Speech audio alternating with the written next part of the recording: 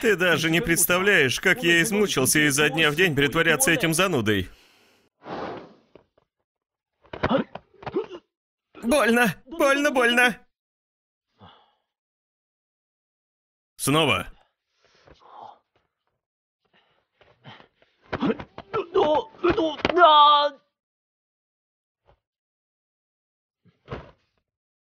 Меня зовут Лу. Хватит драться. Стой прямо. Я Ли Чен Ци. Ну как? Еще раз. Меня зовут...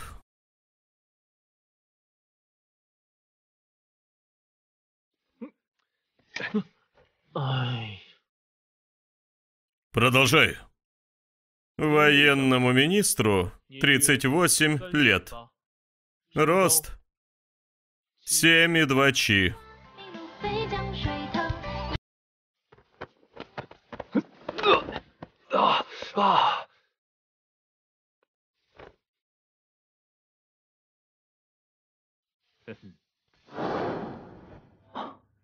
Видишь, я целыми днями хмурился, посмотри на мой лоб. Меня постоянно то били, то колотили. Так как? Ты больше не сердишься на отцы? Тысячи лезвий попирают законы и убивают людей. Они убили моего отца. Как сын семьи Ли, я обязан защищать людей.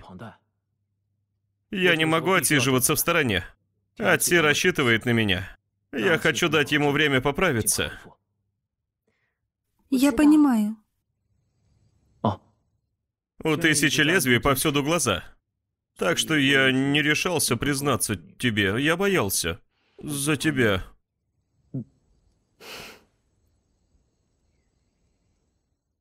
Я все понимаю. И не сержусь.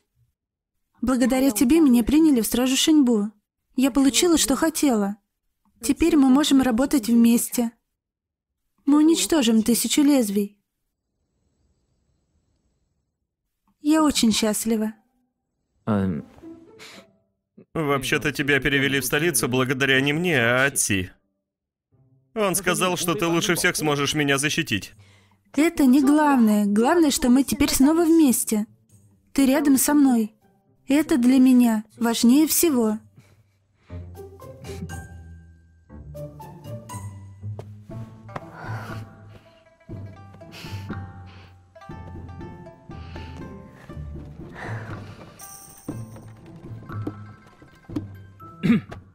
Ли Ченси, что за дела? Не видишь, мы тут милуемся.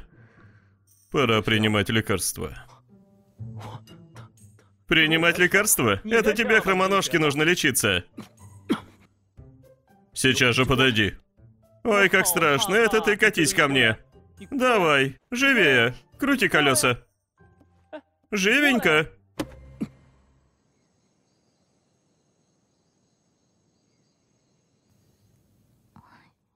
Госпожа! Госпожа, где вы? Госпожа! Госпожа, возвращайтесь скорее! Госпожа!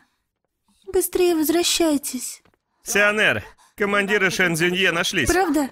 Где госпожа? Они не пострадали, вернутся через пару дней. Я так рада.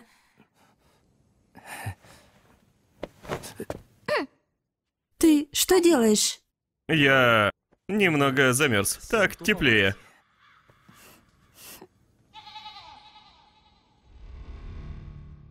Отец, будьте спокойны. Я исполню вашу последнюю волю. Засуха грядет. Берегитесь пожаров.